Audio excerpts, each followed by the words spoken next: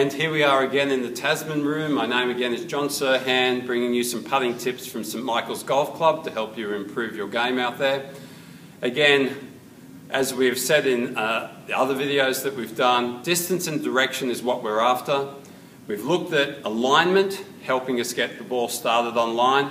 And then obviously, when we're looking at distance, one of the keys, and again, there's something that we can all practice at home if you have some carpet or a putting mat that you can roll out across the floor, is getting the ball rolling end over end. So I've marked this ball up. Half the side is red, half the side is white.